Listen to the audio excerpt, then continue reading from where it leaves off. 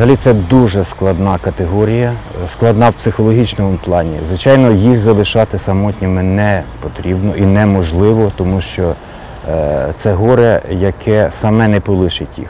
Їм потрібна допомога.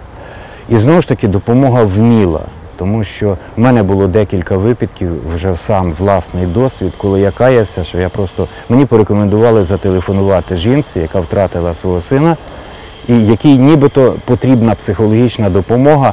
Але при розмові з нею я зрозумів, що і я там лишній, от своїми телефонними дзвінками.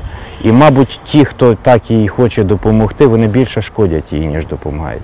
Це окремий підхід повинен бути. От я знаю своїх колег в Києві, які збирають так звані батьківські кола. У нас ще, на жаль, ця система не наладжена.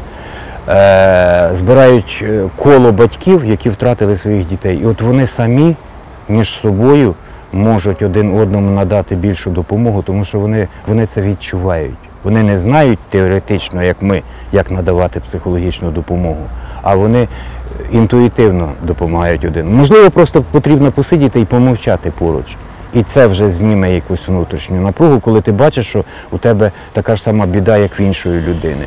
Можливо, потрібно сказати потрібне слово, не просто там сюсюкати і надоїдати, що ми тобі співчуваємо, що ми хочемо тобі допомогти. Це іноді дратує і змушує їх уникати таких розмов, таких зустрічей. Тут потрібна дуже тонка психологія, коли зачепити тему, що давай я тобі допоможу, а коли просто змовчати, тому що це тільки ускладнить саму проблему. З ними дуже важко, але потрібно з ними працювати, тому що ця це найбільш е, така е, категорія, яка потребує допомоги з боку всіх.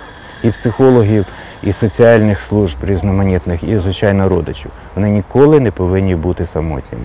Їх ніколи не варто залишати наодинці. Але і супроводжувати їх весь час, ходити за ними слідом не варто. Вони повинні відчути комфорт внутрішній. Коли їм хочеться бути на самоті, нехай вони побудуть. Коли їм хочеться поділитися з кимось, завжди повинна бути людина, якій можна це сказати, можна цим поділитися. Така е, міра здорового глузду мусить бути.